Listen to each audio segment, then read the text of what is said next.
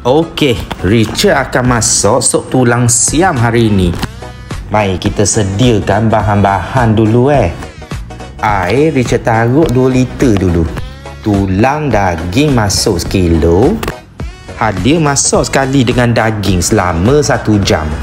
Selepas 1 jam kita masuk lagi air 1 liter.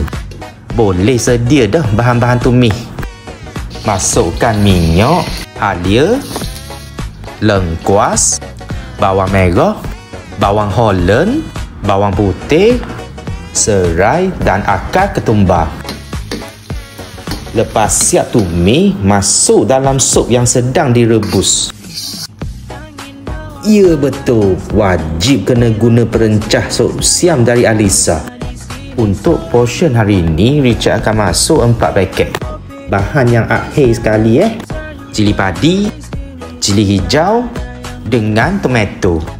Masak setengah jam lagi beres. Cop dulu. Sebelum nak hidang, letak dulu daun sup dengan daun ketumbar. Last sekali air limau nipis.